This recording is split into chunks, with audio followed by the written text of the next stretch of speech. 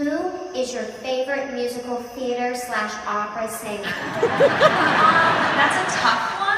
But I'm gonna go with Kristin Chenoweth for smart sure. girl! Do you live in the area?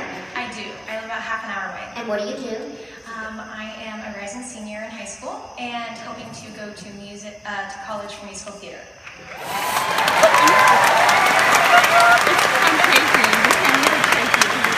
Get up here. I mean, how do you not hear her? Shannon, hurry up.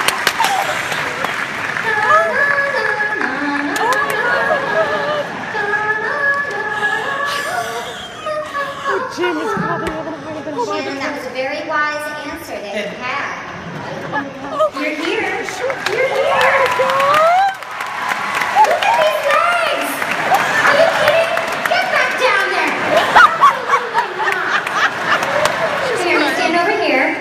So you're what, 17? Okay, so you know what? This is very important. Do you know the words to for good? She, she knows it. Wait, Now, people have said that in the past. so we're fixing to find out if you do. Oh god. Okay, baby girl. I love you, Stewie! Never met her. Have we met? Right. I've heard it said that people come into our lives for a reason. Bringing something we must learn, and we are led to those who help us most to grow if we let them.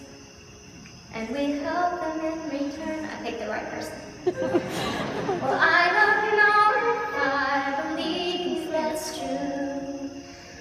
But